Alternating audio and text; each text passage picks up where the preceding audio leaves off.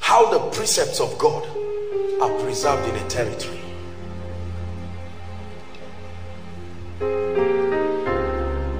Hmm. Our sensitivity largely very dull largely very dull. Any and everything happens around us and there is no acumen no perception. We see and hear things we do not have strength and capacity to interpret so we become victims of anything and anybody who presses a little more than usual we we accept it that that person is being called into the ministry Number one, the first way, listen carefully, that the purposes of God are both established and preserved in a territory. Like our territory, Zaria here for instance, is prayer. Write it down, prayer. The first way the purposes of God are established upon a territory and also preserved is prayer. Warfare and intercession. Write it down. A lost act in the body of christ. Genuine warfare and intercession.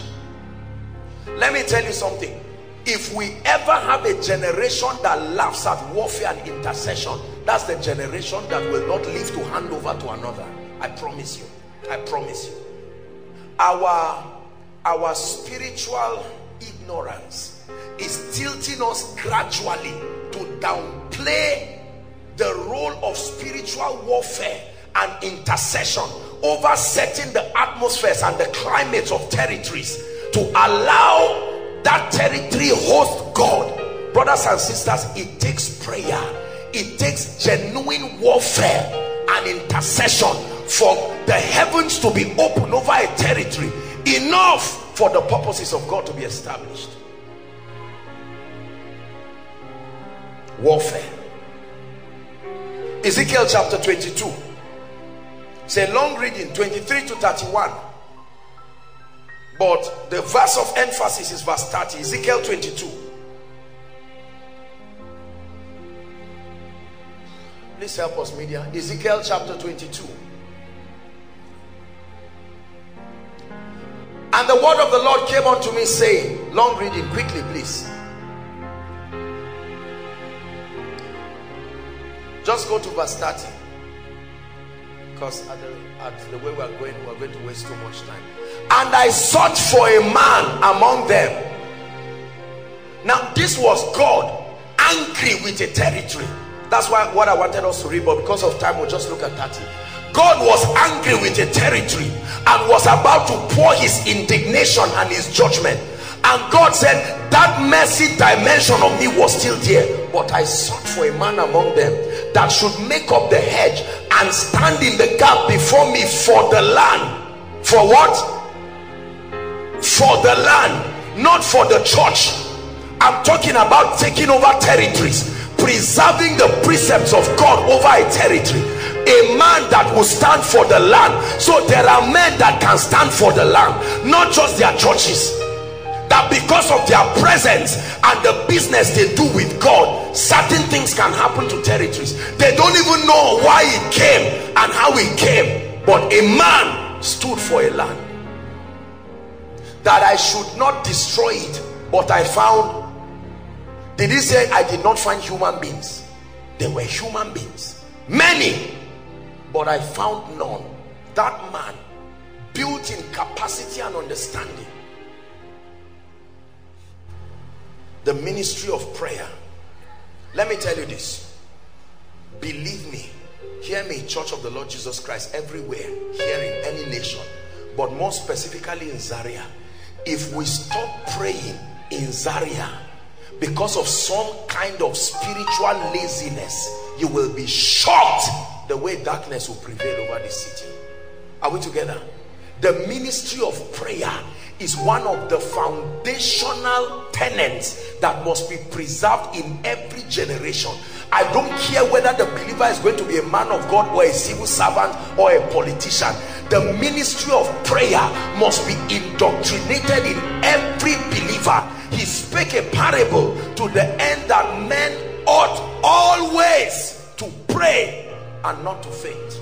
Not just need-driven prayers alone, but we must graduate from realms of just praying, give me tea, give me bread, to taking over lands that because of your presence in a territory, you subdue the controlling powers the powers that mold the mindsets of people the powers that are responsible for prevalent tragedies over a nation. That you come into a city and find accidents anyhow all kinds of things anyhow and you realize that you have been made a king and a priest over that territory. And part of the ministry of your priesthood is advocacy that you go before God and you stand face to face with the controlling powers. That's what men did in the Bible. Abraham stood in for Sodom and Gomorrah. Are we together? Preserve the family of Lot. The wife chose the way she wanted. Joseph stood in preserve certain things. Daniel stood in preserve are you not men who preserve the purposes of God? Your generation. The ministry of warfare and prayer. The ministry of warfare. Ephesians chapter 6 when we read from verse 10 to 19 the bible tells us listen carefully the bible tells us that um, we should be strong in the lord and in the power of his might. Then it says we should put the full armor of god are we together? Then it says how that we we do not war against principalities and powers but against um, rulers and flesh and blood but principalities and powers and all of that. It begins to tell us that in every territory these demonic structures exist. Hold on. Let me preach to educated people. You know sometimes because we have gone to school because we are rich small money small job we Uh, and sometimes innocently and truthfully I hear preachers downplay the presence of controlling powers over cities simply because at the present they are doing well. Let me tell you something. Satan is many things. A fool is not one of them. Are you hearing what I'm saying? Satan is defeated. Satan is old. Satan is several things. But a fool is not one of them. He has the advantage of age he has studied mankind. Different species of people have lived upon this earth. He has had an advantage of one-to-one -one experience. Satan has existed before several dispensations before adam's dispensation that brought us into the scene every territory has controlling powers. Every territory has controlling powers if you see the purposes of God prevailing in that territory brothers and sisters it's not because the controlling powers are not there.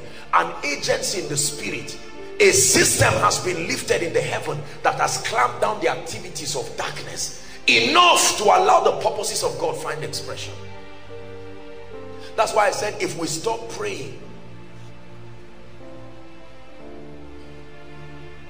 or if we concentrate on childish immature prayer lord give me tea. Tomorrow again oh god i forgot to ask for bread yesterday. There is a place where you ask for your needs. But notice how jesus taught us to pray.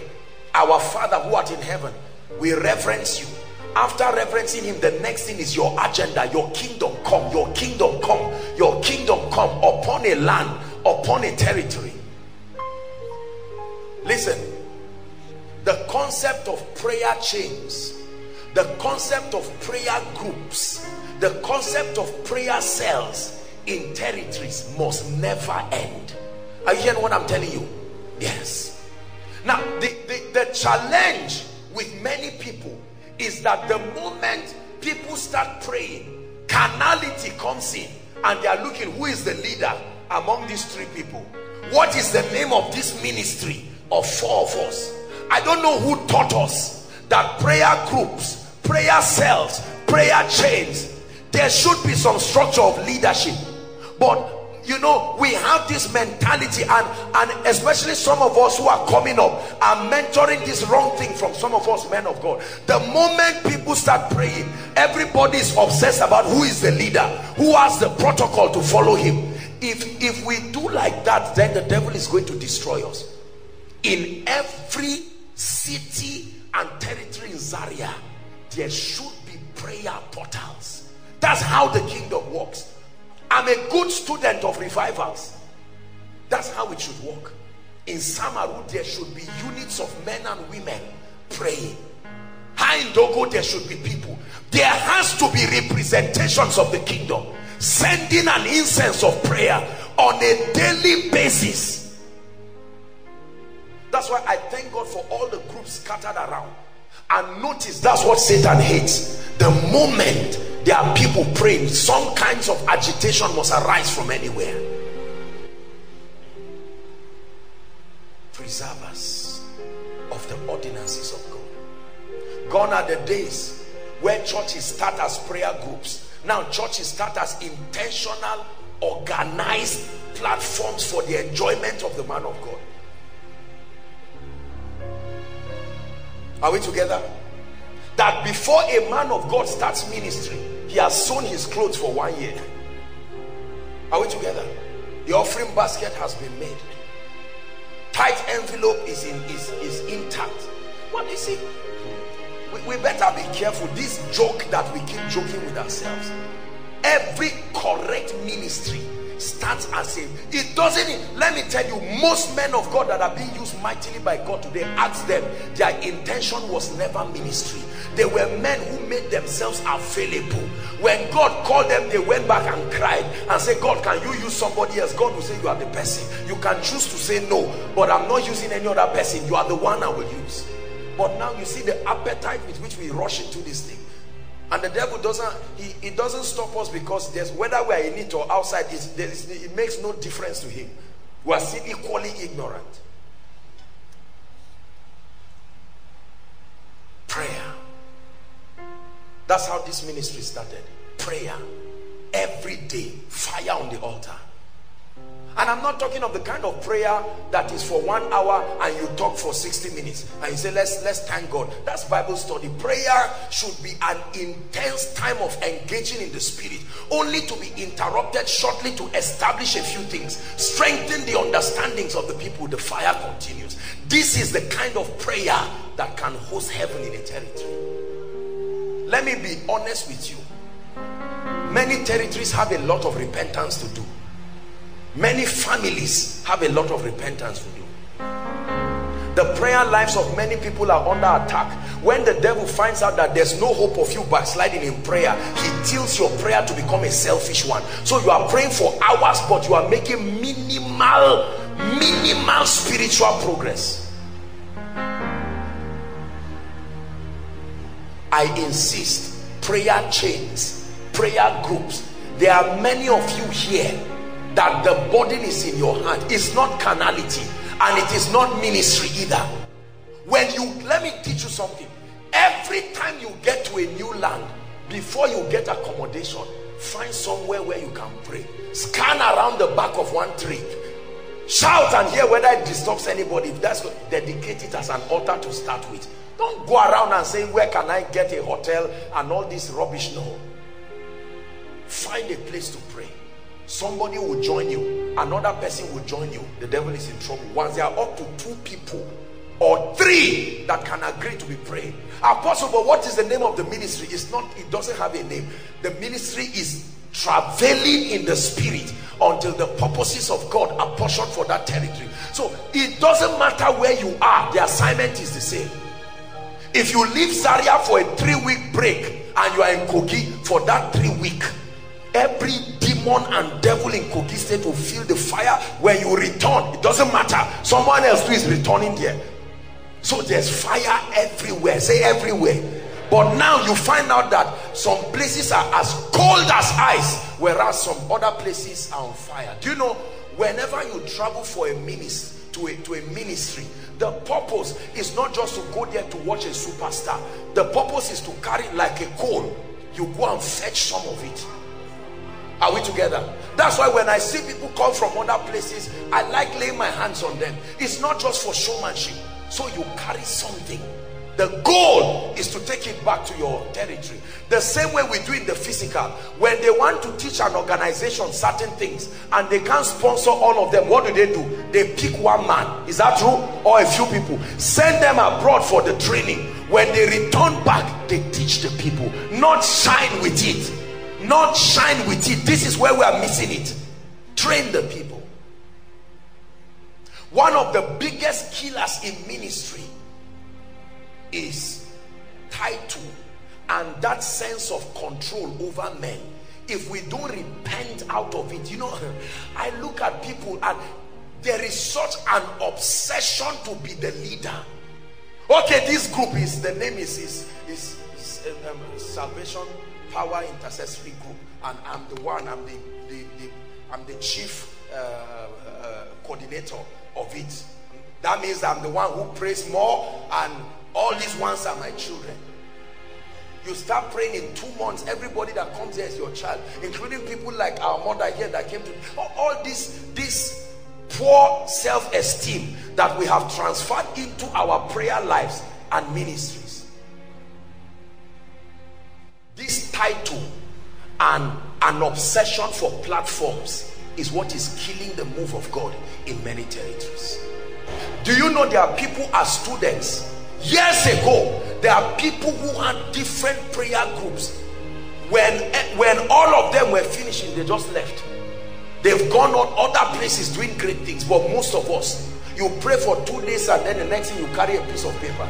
Who is really the secretary among these five people we need to define it because the other day I didn't tell anybody to lead prayer and this other lady started leading when did she join this thing before and you see we, we start politicizing it are you not from Adamawa? Me too, I'm from Adamawa. That one came, I don't say from Lagos. He said, we don't want to bring all these kind of things. And we kill the move of God with very frivolous, childish things. Another thing that kills prayer is love. No, not love, relationship. Hello? I keep saying it. There are people till today, they have no business loving anybody. Please hear what I'm saying. All this thing of coming to the house of God for one month and you're already eyeing every sister every brother you are in love. No sir. This is not how we train people. We train people to look for God first. Press into God. Have a testament a, a track record. Then you can love.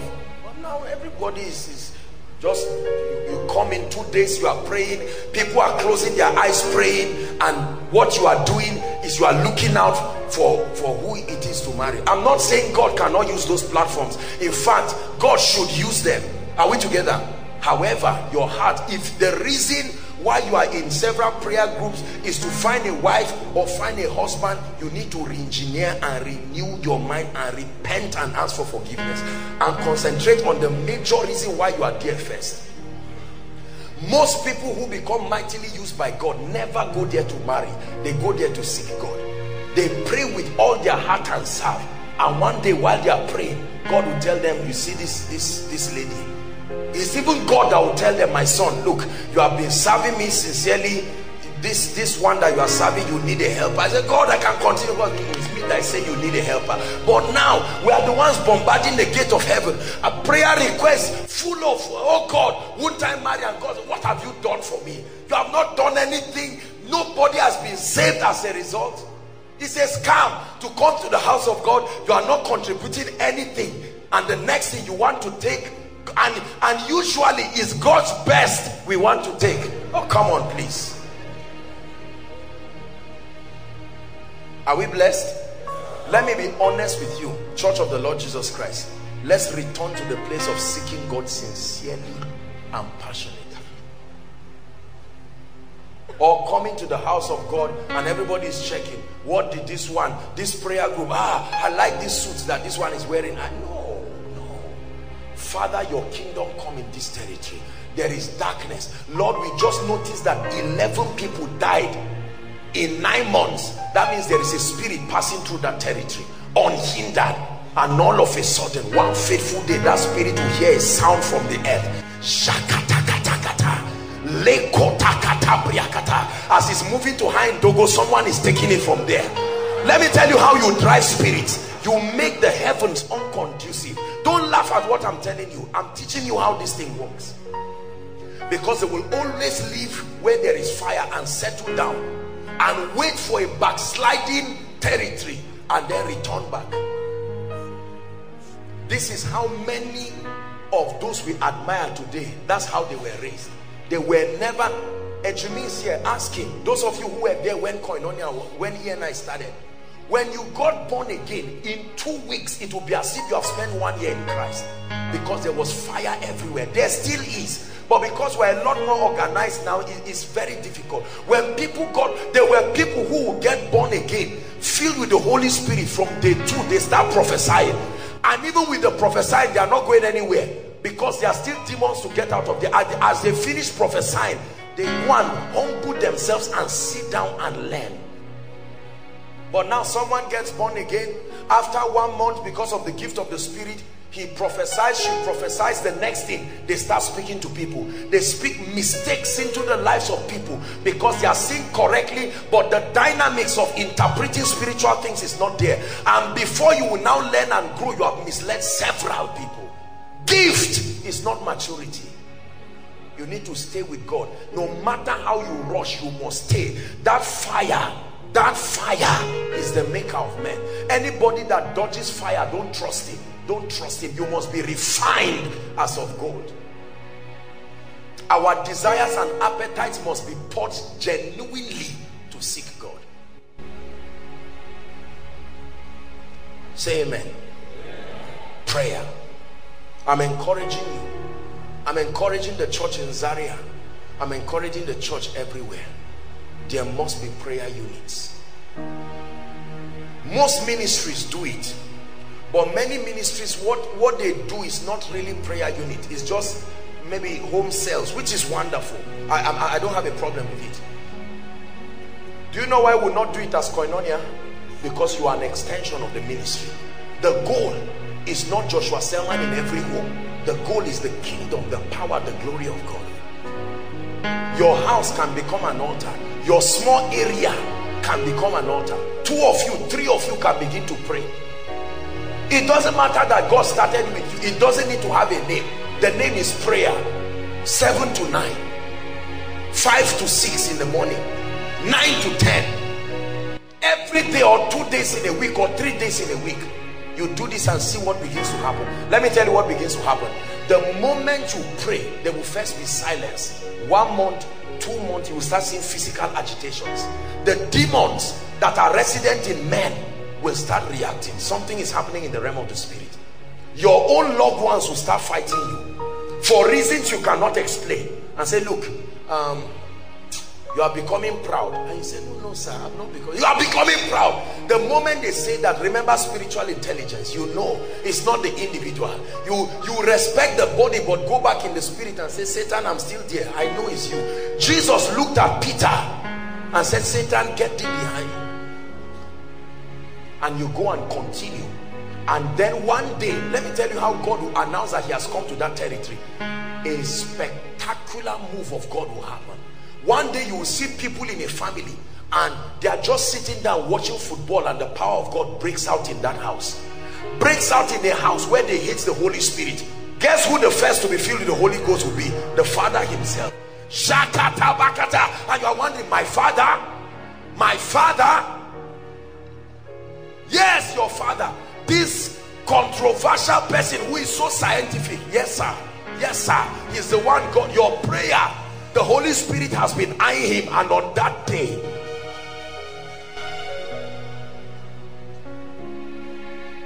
we have missed it. There are many territories that are cold. So the only way people can get some fire is when they rush and converge in particular places. The place of convergence is important but the place of convergence should not be a remedy for lack of fire where you are. It should be a place to come and receive a greater fire can you make a commitment in one minute that you will become an extension of the fire of God in your territory? Pray. Pray one minute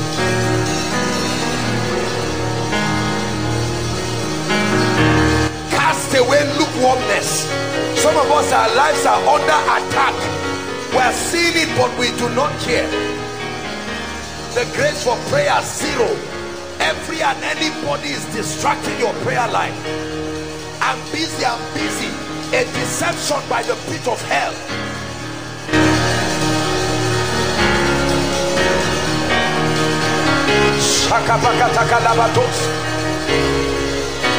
Lord, in the staff quarters find a space through me lord in PZ we represent an extension of that altar of prayer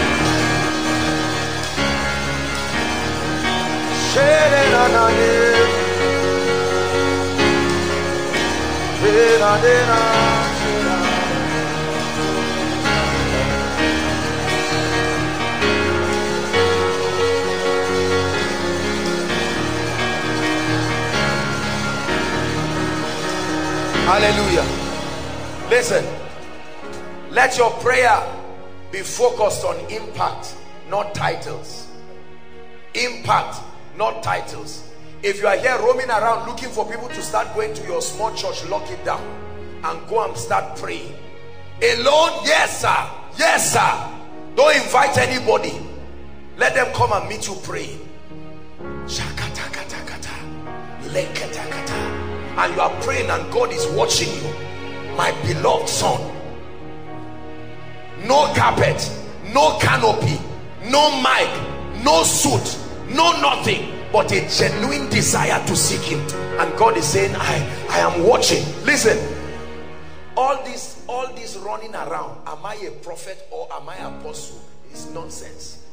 It is the place of prayer and work there is nobody that starts ministry and starts working with god knowing who he is.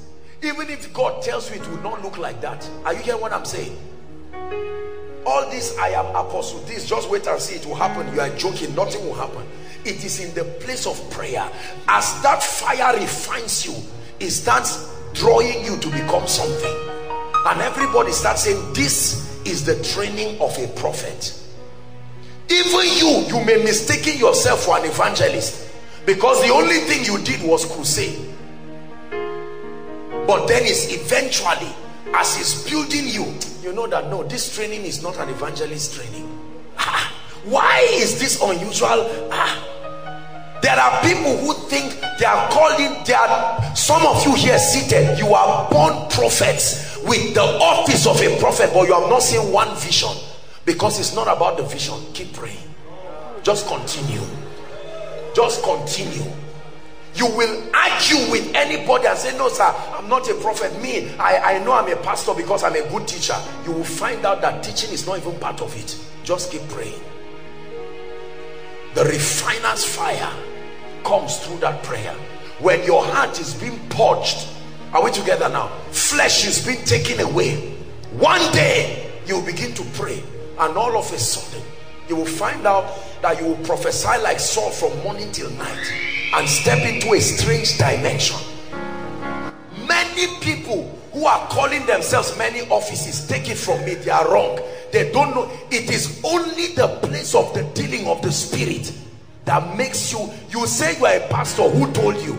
Just because someone prophesied he saw in part and he said so he may be right but it may not be it no, don't say just because you saw a ring, you saw a hand, you say, I'm a prophet, I'm a prophetess, I'm an apostle. No, sir, don't flatter yourself. Let the place of prayer incubate you. When you come out fully, the name that you are will be shown not just by titles, results. Results. Results will show who you are. If you're a prophet, don't tell us. Let the results show it show us the eye of the spirit you received in the place of prayer. Show us the acumen the ability to perceive realities. That's what makes a prophet. Show us the ability to bring things down from the realm of the spirit. Don't come and talk jargons and waste our time. Show us the performance that comes based on the word of God. Show us the throne in heaven that backs that office. Don't say I'm an apostle. Show us the throne that backs you. Show us the keys of the territory that was given to you. We go around bragging calling ourselves names flattering ourselves and deceiving people and being deceived ourselves. Pray in one minute. Lord a restoration of the grace for warfare and intercession. Praying over a land please pray. Please pray. Please pray. Restore me back oh god to the ordinances of the fathers. Restore me back. Restore me back. Restore me back.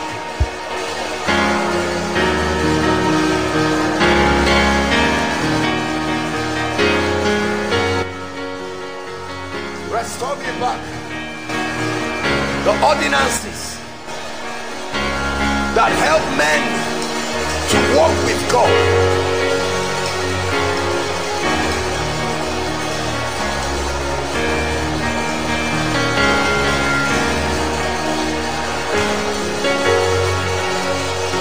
Hallelujah. Praise the Lord. I once saw a man of God that I knew years ago.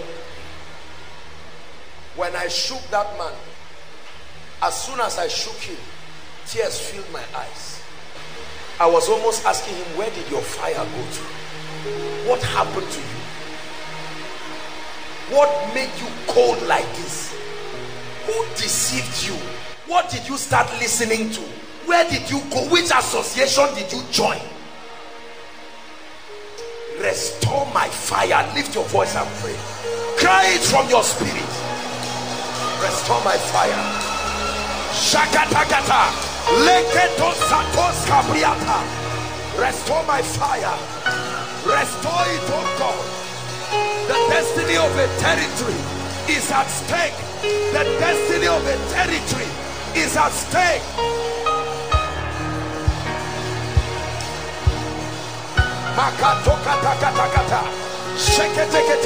This is not the issue of being a man of God. This is not the issue of being in ministry. Preserve us of the ordinances of the Spirit.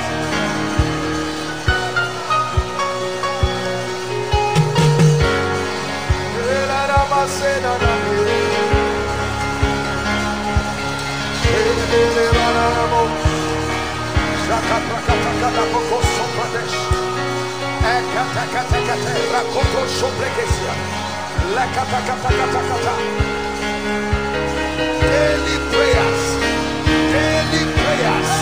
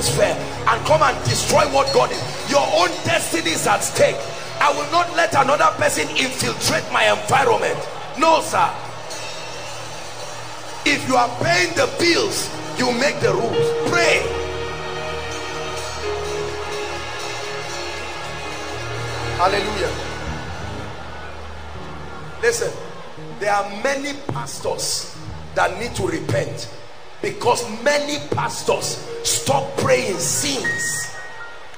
Ministry is ongoing I'm in ministry. I know how busy ministry can be. Let me tell you, you need to love God beyond money and beyond members and beyond power to remain prayerful as a man of God. No matter you can be leading a prayer movement, it's no guarantee that you pray yourself. You can pray whenever you are with the people.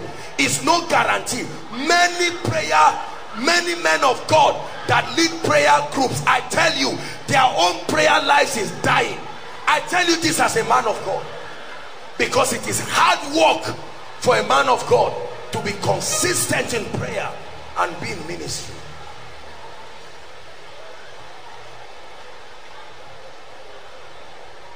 There are ladies that don't pray. Don't pray. Fashion is, is eating us up. I believe in fashion, look good, but it's complete nonsense if you don't pray. Can we pray in the spirit just for one minute? Just, just to allow the Holy Spirit bring this. There are gentlemen that don't pray. We are over conscious of ourselves. No, sir.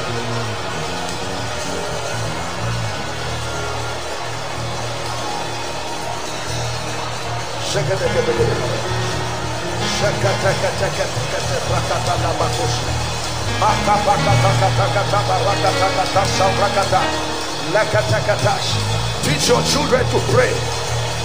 Teach your children to pray. Hallelujah.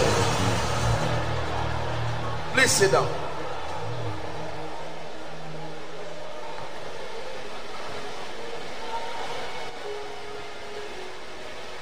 Prayer.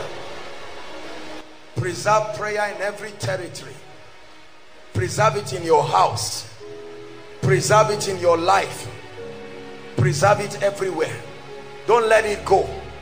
No matter who laughs at you no matter how western those of you listening from other nations of the world restore prayers back to your homes.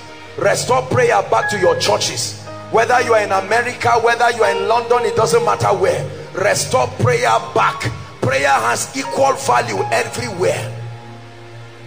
Whether you are rich or poor your personal comfort has nothing to do with your prayer life. Number two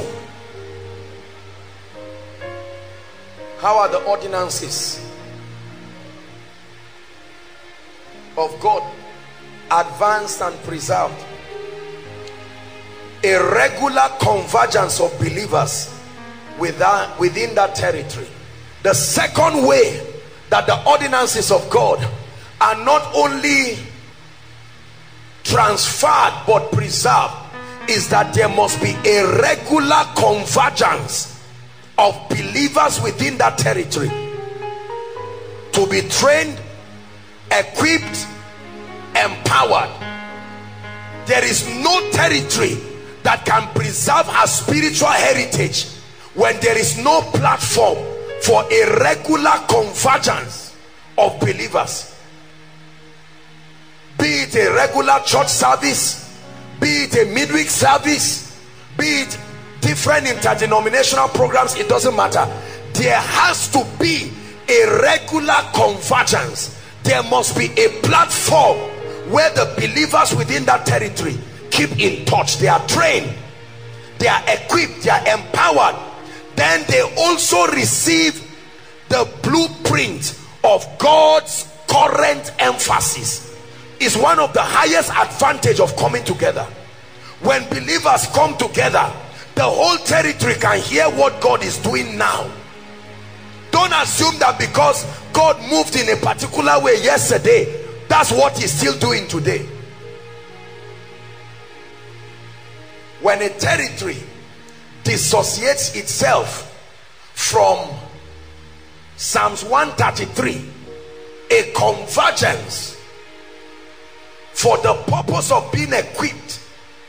It is for this reason that God anointed some. He gave unto some apostles and prophets and evangelists and pastors and teachers for the equipping of those people within that territory so what what happens here every week is the will of God a convergence of men and women.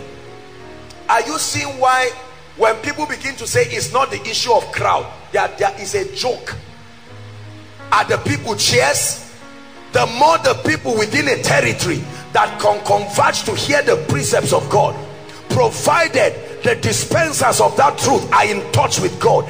Is an advantage in the multitude of people. Is a king's honor. The king there is not the man of God. The king there is the king of kings. In the multitude of people within a territory. Don't have a territory of 5 million people. And the largest church in that territory is 300 people. And you say it doesn't matter. What else matters why didn't jesus die for 12 people and say 12 people receive my salvation then any other person who is interested no he died for the whole world. Don't get into that mistake of resenting crowds. Just because there are people or there may be ministries that have crowds and maybe the men of God and the women of God may not be well positioned to supply them the kind of spiritual feeding does not mean that God is against crowd. When you reject it it looks like you are being spiritual but that's being carnal. Anybody that knows God must love people.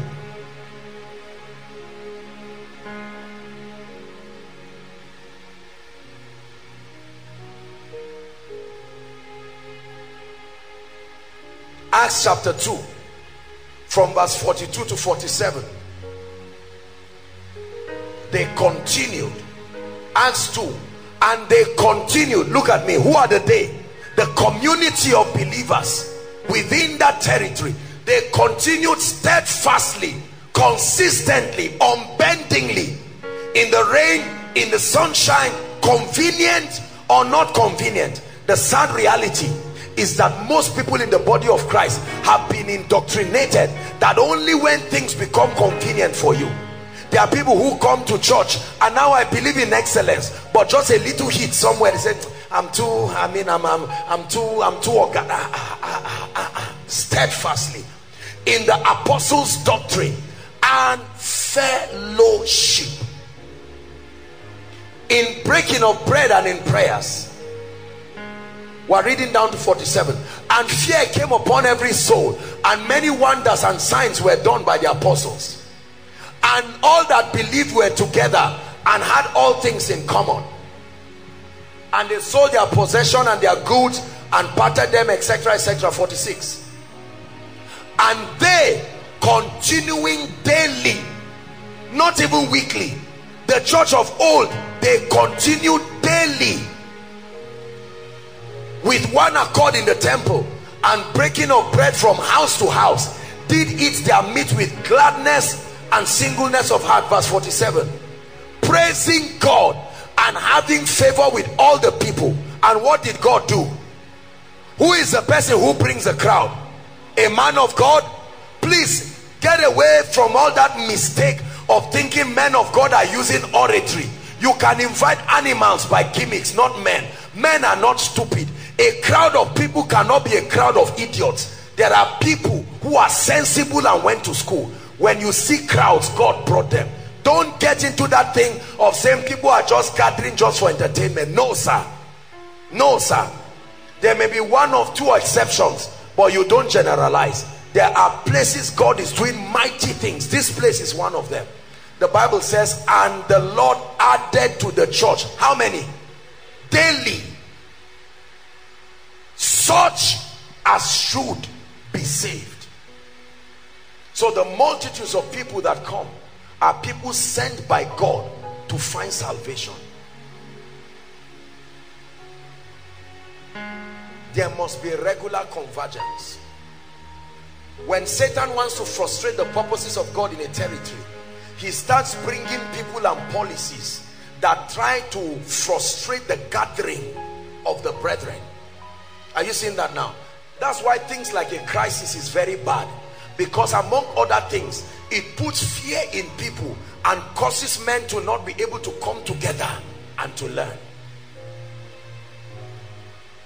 Thank God for platforms. Technology has afforded greater opportunities today. Most ministries and most groups and platforms have social media presence for all those who are part of what God is doing in that ministry to connect and follow. There are all kinds of opportunities for growth. Number three,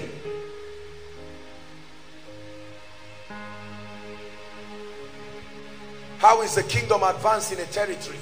How are the ordinances of God preserved in a territory? Ready? An open display of real miracles, signs, and wonders beyond the church walls. Let me tell you how God is institutionalized in a territory. An open display, not a private, quiet, secret, doubtful manifestation of his power. An open display of real, genuine miracles, signs, wonders that are beyond the church wall. Out of all the miracles Jesus performed, please write it and look up. Out of all the miracles Jesus performed, less than 1% of them was done in the church. Is that true? He was strolling one day and then he saw a dead body. They were going out. A woman was crying had lost her son had lost her husband and he said what's going on here? And he said this woman is about to leave. He stopped them there and then and brought the son back to life. Do you know that when a miracle happens and it is not known it doesn't bring God glory. The glory God receives is in the announcing of what he has done. I know most times people think it's an announcing of a powerful man of God. Our mother came here and shared testimony. Our brother here came and shared testimony of someone who has come back to life. Do you know what that does to you? It strengthens your faith and then when the miracle happens in your presence it is beyond doubt. That's why listen listen. If you're a man of god here you must trust god for grace for instant performance of the word. Instant performance. It is wonderful to go and come back two weeks with results. But there is nothing more convincing than the optical eyes of a doubter watching god in action. You saw it before during and after. When jesus finished declaring his his um, call in luke chapter 4 he told the guy with the withered hand he said for starters to prove to you the hand of god is upon me mr man stretch your hand. When he stretched his hand that was beyond doubt. The highest that can happen to you is you will be criticized and hated but i assure you god will be glorified. An open display. Why do we need an open display of miracles within territories? It creates convictions not just in the heart of church members in the heart of the community. Many communities do not believe in god because they have not seen him coming in an open display. The day god anoints you and you stand and speak over a territory and say god revealed to me that in in five months they are going to tar this road. And people laugh at you and say stupid pastor if you want cheap publicity go on air. And all of a sudden a rich man comes within that territory and tars that road in five months. You don't need to tell them god has done it. The next time they see you that convicting power the day you now speak and say i saw death in this community they will not laugh at you again they do not take our words serious. Do you know why? Bloggers and journalists write everything about men of god because there has not been an open display of the efficacy of the power and the grace of god. Something that defies principalities and signs and wonders. Most of this open display is largely done in the south. That's why there are hardly our fathers of faith there. The, the kind of crowd that comes for their meetings the miracles that happen you will see people sitting on the street selling akara selling pap and watching people rise up from wheelchairs. Now let me tell you it does not matter how hardened you are. If you see a real miracle you must go back and think about it. You can choose to argue but the truth still remains the truth. What has happened in your family to shut the mouth of those who are doubting those who have laughed at you and said koinonia every time you must trust god for an open display. Everybody say an open display. That one day you step into the parlor and all of a sudden someone that is to go for surgery maybe your loved ones just because you stepped in there while they are busy criticizing a man of God on TV you look and say daddy the Lord just said I should tell you that this cancer is gone and he laughs there young boys. I was with you. I was i remember serving god in boys brigade when i was growing up. While they are talking all that drama there is instant miracle. And he touches his stomach. He will first quietly go to the room and lock the door and say no no. What is happening? And within a short time the lord is glorified. Let me tell you what they'll start calling you. Uh, where is prophetess? Pastor evangelist we're about to pray is God saying anything? That's a sign that God is working. God is working something powerful in this time. God is raising mighty men in our days. He won't stop, he won't stop till his church looks like him. He won't stop, no, he won't stop till my life Acts chapter 19.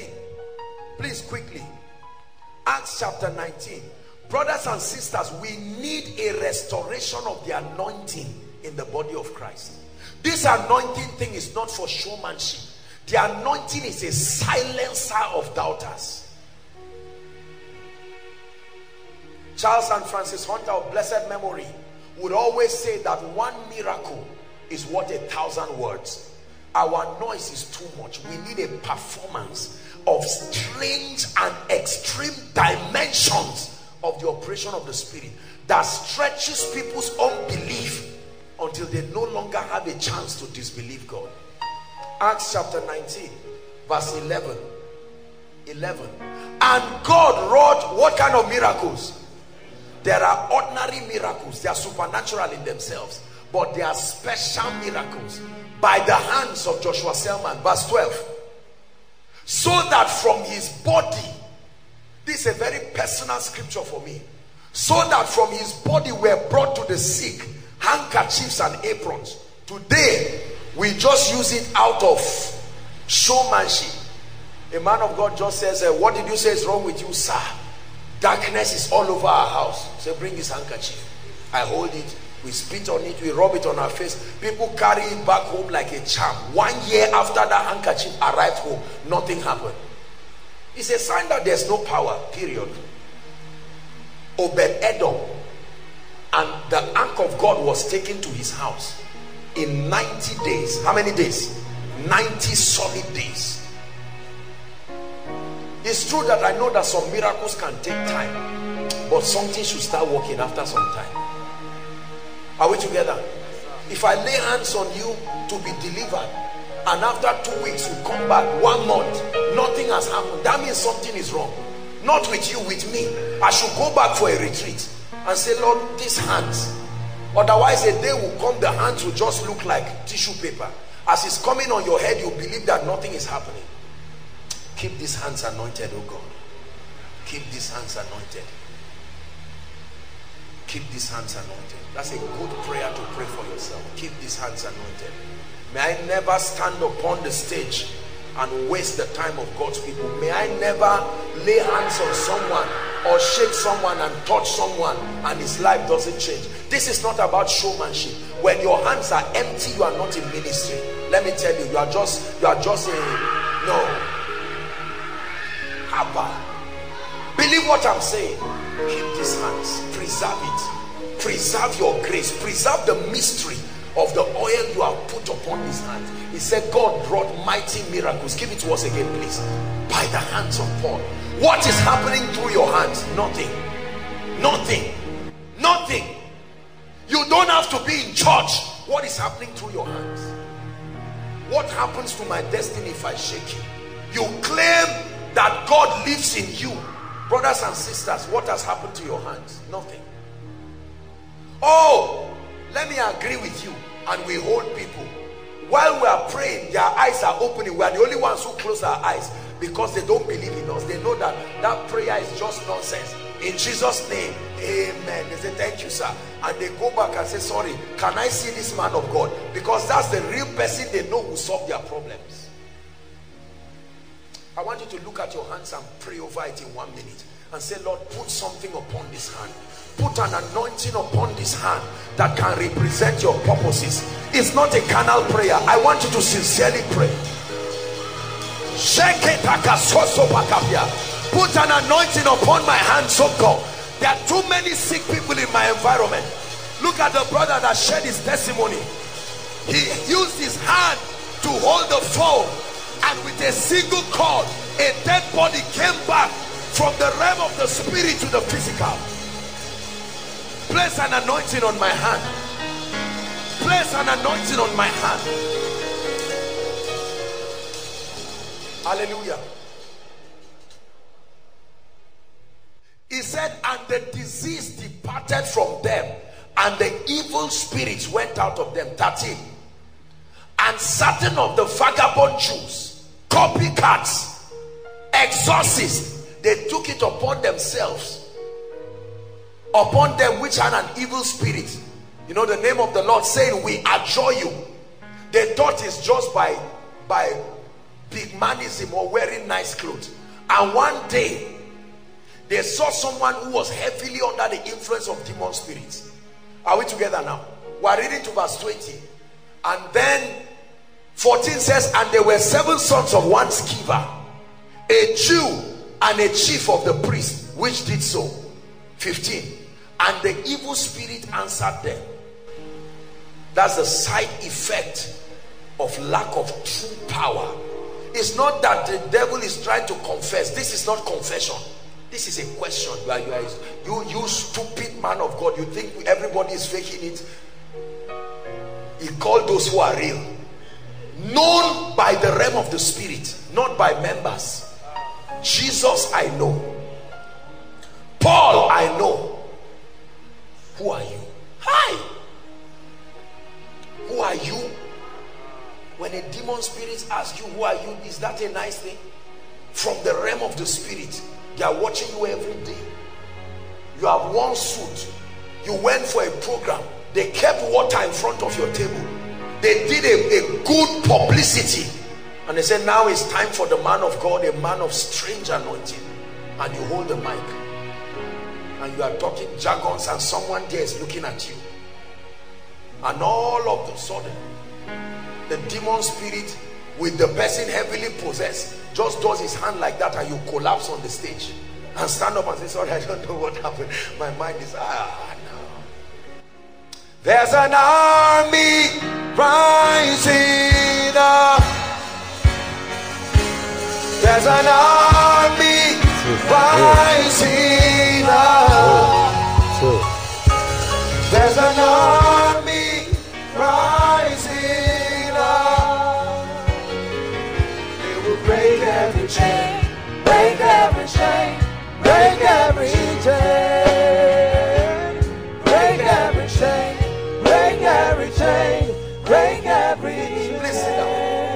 Make progress. Verse 16. We're reading to 20. And the man in whom the evil spirit was, did what? Leapt on them and overcame them and prevailed against them so that they fled out of the house naked and wounded.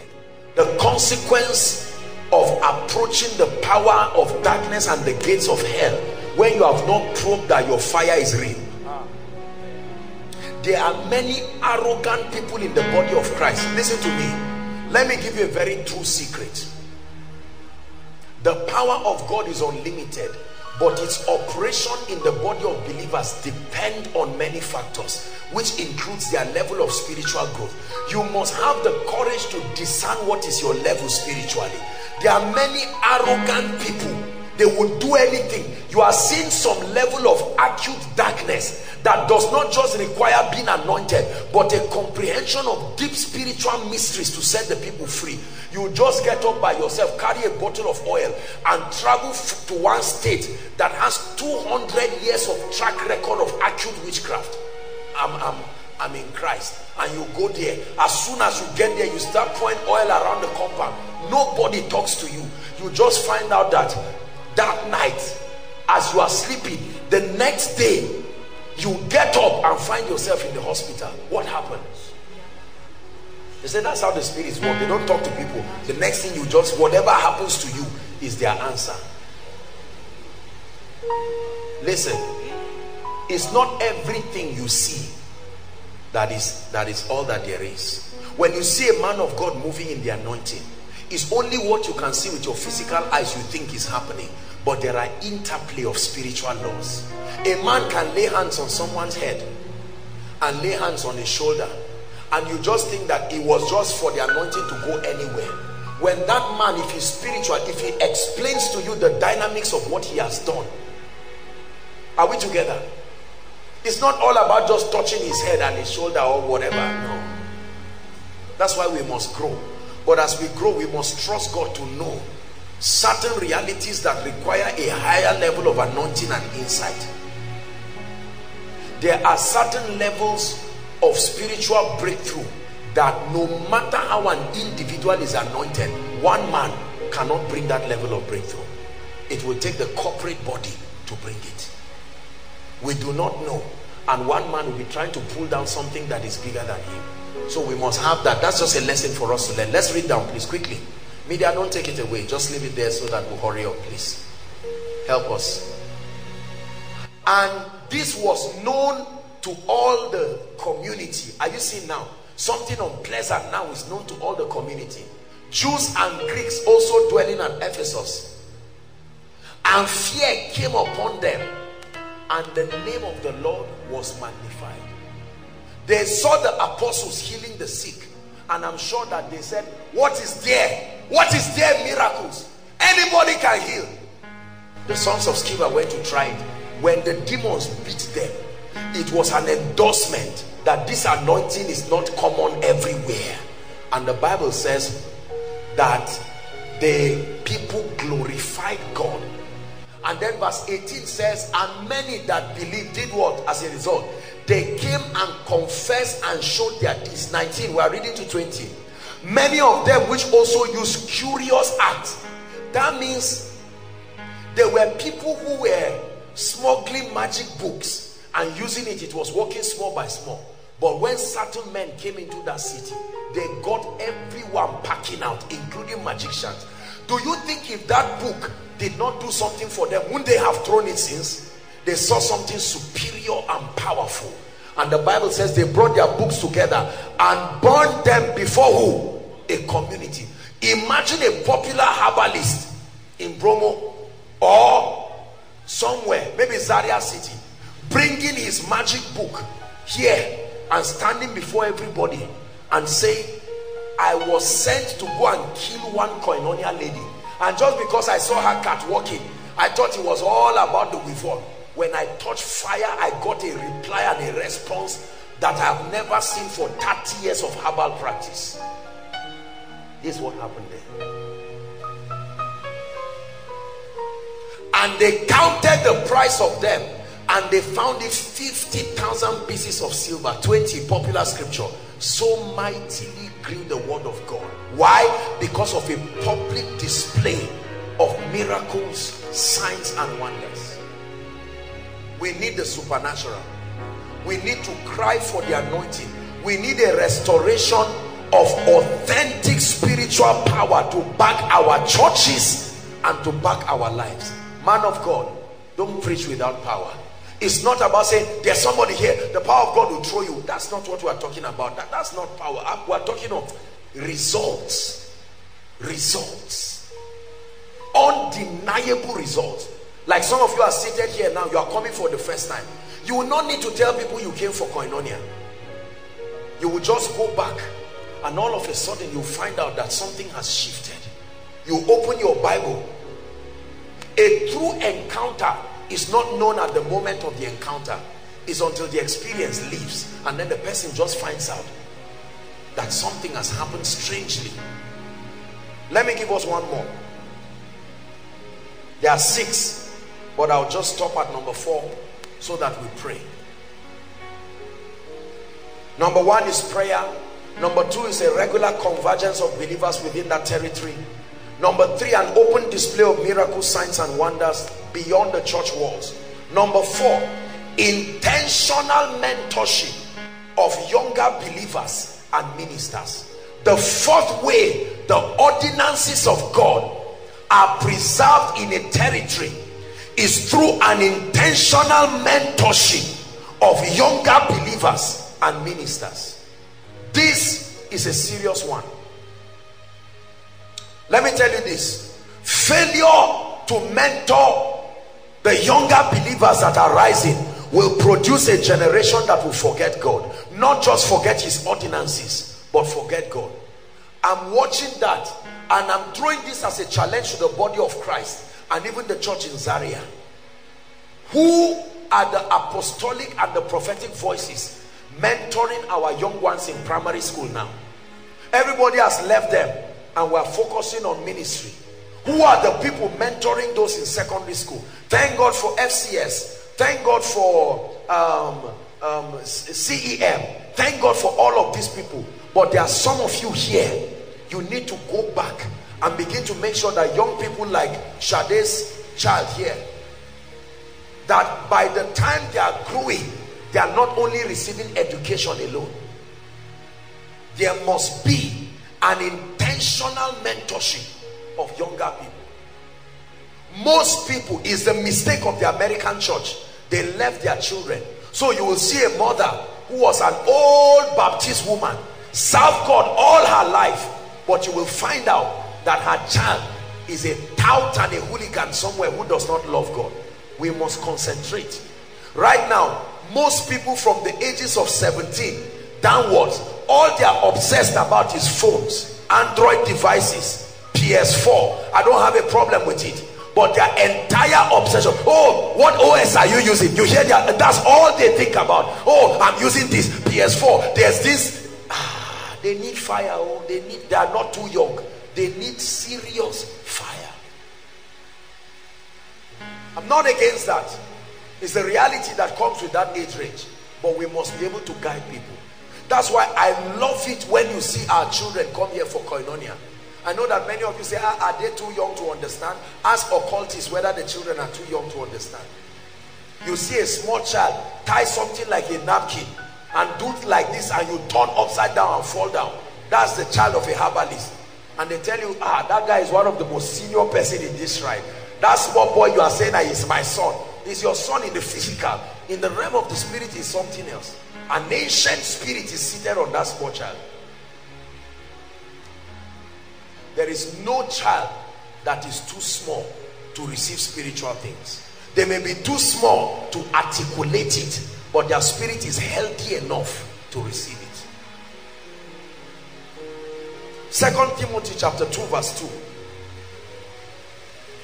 Second Timothy. And the things that thou hast heard of me among many witnesses, he said, the same commit thou to faithful men who shall be able to teach others too. A superstar lifestyle is not God's plan. God's plan is not superstar Apostle Joshua Selman. God's plan is Apostle Joshua Selman committed by grace certain precepts and your assignment is to open up your heart and pour it to people so that they also will do so. May God forbid that the day will come in Zaria when the average young man does not know God. Say amen. May God forbid that in Zaria during a church service we'll have young people hanging around sagging their jeans and dancing around and toasting themselves instead of praying and crying to the God who can change any man's destiny. May God forbid that is not your child that will refuse to know God.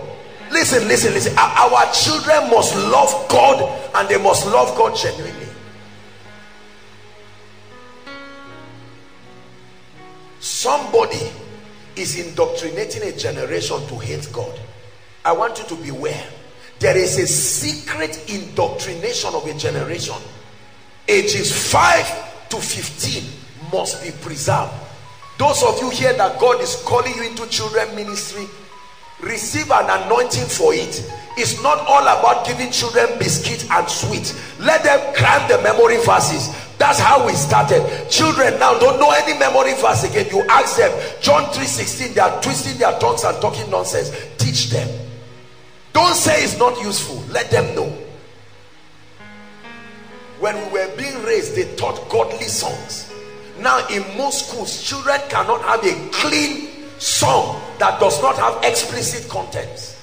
A little child is singing a song that even as an adult, you look at him and say, No, this should not be. There must be restoration of godliness. CEM, may God anoint you more and revive you more. Please. FCS, may God anoint you and revive you more. Individual children ministry groups, may God anoint you and revive you more. Because if you yourself are not revived, what will you teach the children? Bad things. Bad things. That's what our children learn now. Things that are more than their age. And we say it does not matter. It matters. You have children in your house who are too young to watch certain things. Don't let them watch it. Don't let them watch it. There are times you need to regulate. I'm not, I'm not trying to be harsh. But there are times you need to regulate all this. this a child of seven years watching television from morning till night switching from one music channel to the other hearing things and receiving them in his spirit and authorizing demon spirits to come and destroy them we must preserve godliness say amen you don't like what i'm saying i don't plan to stop at all. We must say it again and again. Some of you god gave you instructions before you became popular to visit secondary schools and primary schools not with the name of any ministry and bless them.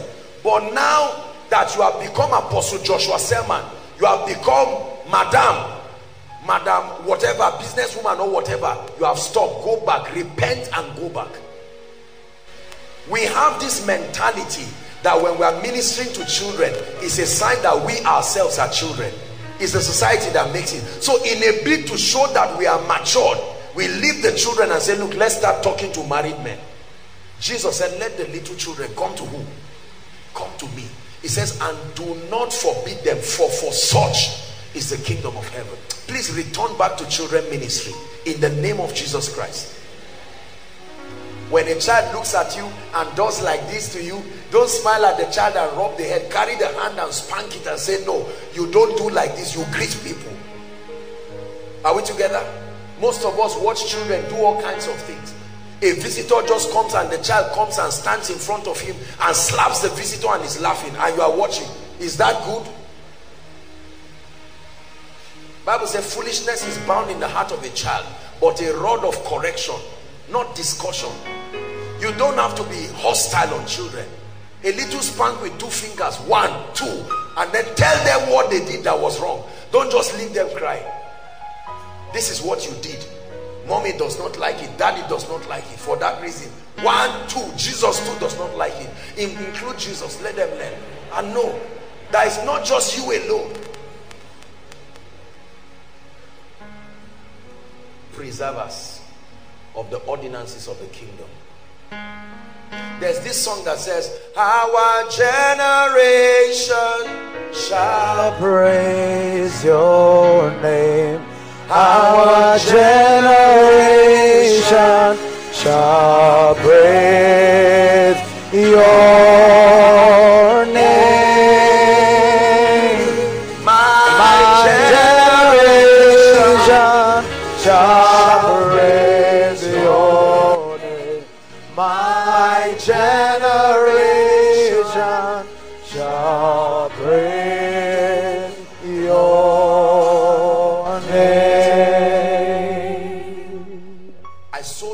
myself to God and I made a vow that for as long as I'm alive, my generation must know God. It's a covenant I've entered with myself. There's no going back. There's no discussion. there's no hope of going back to go back is to die in life and in death It's a vow and a covenant i made with myself and everything around my life it is to serve him forever and to introduce him to a generation. God is waking us up. Stop playing games. Don't wait until the day you have a cathedral of 5,000 people. You can start now. Some of you you are the firstborn. You are the only one who knows god in your house. Your your fourth born can look at you and say stupid girl that's a joke. You need to cast out that demon out of their head and organize a standard bible study using a koinonia message and tell them sit down you are 10 years older than him is insulting you you beat that devil out of that head and keep that child disciplined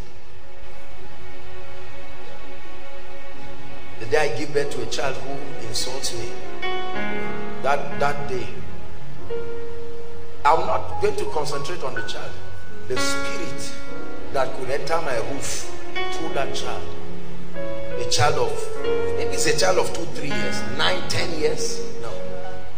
See, am I against being, am I, am I for being harsh? No. I'm a compassionate person.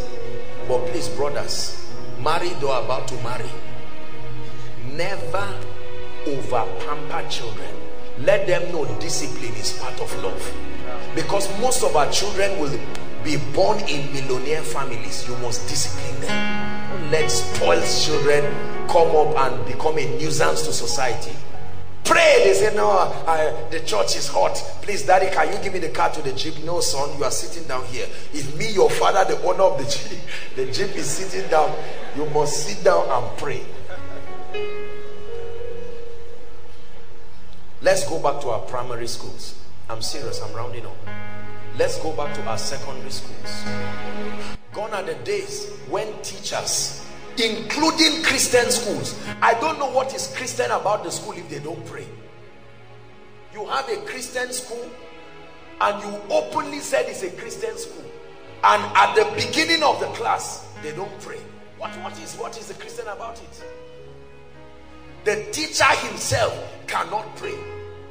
You never see a fasting program organized in the school. Nobody cares. While they are praying, the teacher who is a young guy somewhere who is not even born again. Wait and let Koinonia start her schools. Oh yes, oh yes, let Koinonia start her schools. And you will see.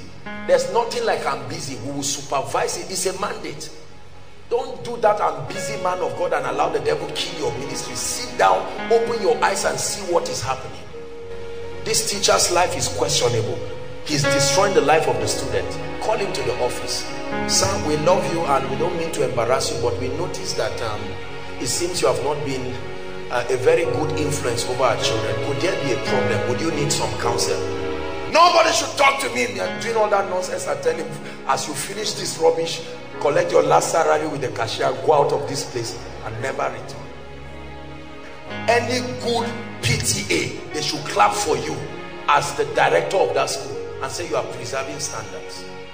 They laughed at Covenant University, laughed at Landmark University, laughed at Mountaintop University, but these universities today are bringing a standard that is almost getting to Cambridge and Harvard because they kept God. Don't throw God and think it will go well with you. We'll continue next week. Six precepts to keep and preserve God in a territory. Which one have you missed? Would it be prayer, warfare, and intercession? Could it be that you neglect the convergence of believers? You come to the house of God today, you come after one month, or you come to the house of God today, you come when all your arrears are paid, only to come and testify. Have you positioned yourself to be used by God for an open display of miracles? Almost every family located here has the hand of Satan roaming somewhere. What is it still doing there when you come from that family? Apostle can you come and visit us? Try first. Try first. Don't get used to all this. I, I love I love his testimony. Right Pastor Lawrence I love his testimony. It's not all about oh apostle prayed for me and I got a miracle. No I came here apostle taught me. I carried that understanding back home. And I said daddy I know that for 35 years no door has opened in this family but I came all the way from Zaria with an anointing. I'm using the opportunity of this strike.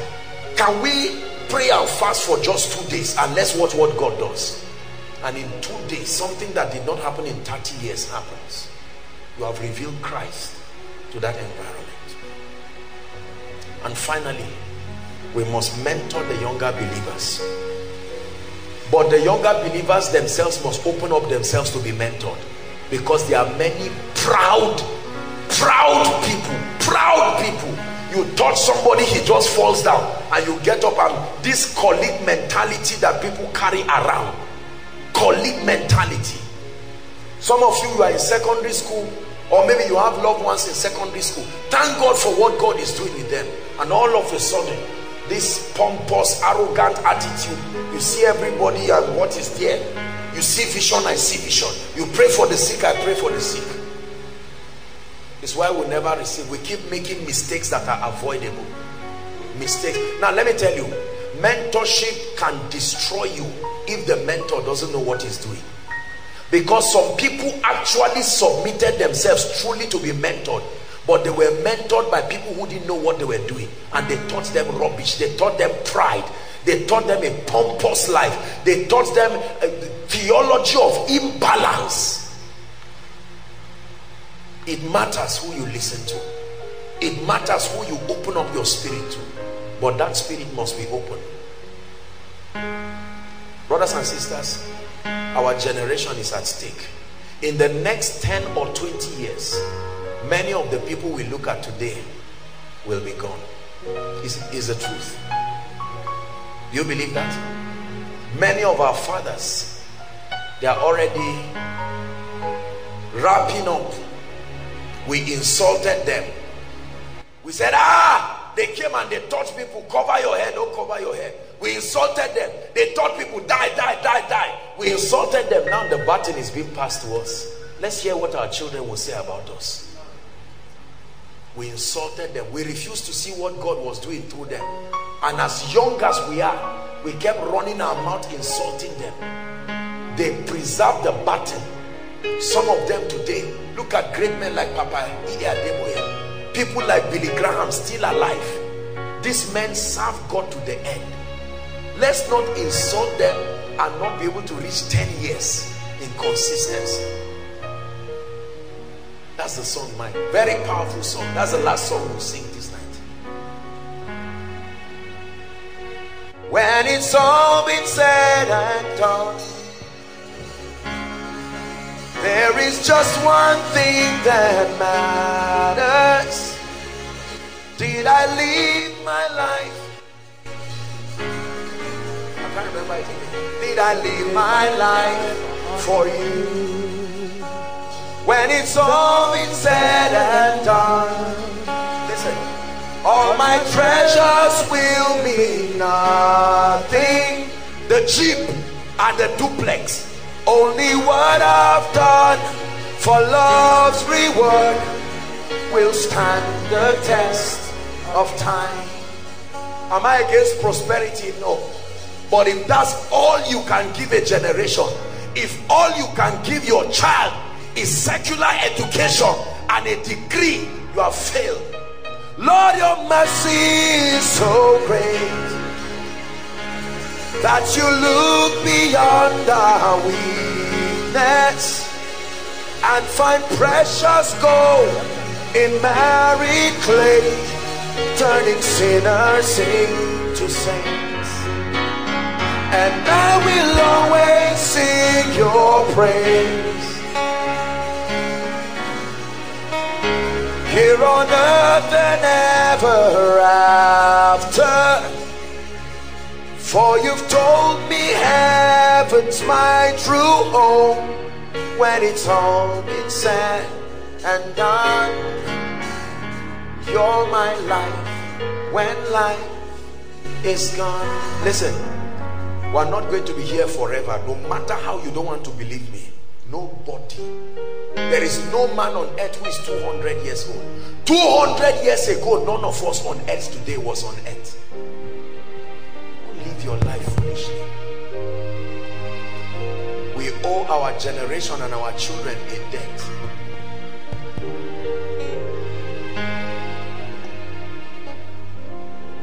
I will never, except God takes my life, but it will not be when I'm alive that I'll see darkness loom over the nations of the earth. If it means my life going for it, let it go. But the ordinances of the kingdom must be preserved in our generation. This is ministry. If you are not ready for this, don't jump around and talk nonsense. A lady sent me a text today, passionately. She may be following, listening. And she said, Apostle, she's from my village. She said, Apostle, come to my village. Why have you not come? I said, Don't worry. You think I won't come there? I'm coming. God is counting on you. Listen carefully. I'm rounding up. God is counting on you. I'm not a man of God, doesn't matter. There are souls. If God planned that in Pastor Alpha's lifetime, you are supposed to save 100 million people. Do you know if you save 20 million people, the world will clap for you. But it's when you get to heaven, God will say you left 80 million people to go to hell because you did not manifest. If God has anointed you to heal 1 million people and you documented 100,000 testimonies, they will register you in the Christian Hall of Fame. But when you get to heaven, you hear nonsense. Our works will be tried by fire. Let's make business with God. This wastage of time. Let us start with our Jerusalem, Zaria. Let us start with Nigeria. You see what is happening in Nigeria. You know what most of us are doing. What is happening in this nation? Those who are for A, those who are for B. But the preservers of the ordinances of God know that there are spirits. They can read the writings on the wall that this is not an issue of north south east or west. This is the devil eyeing a generation that wants to love god.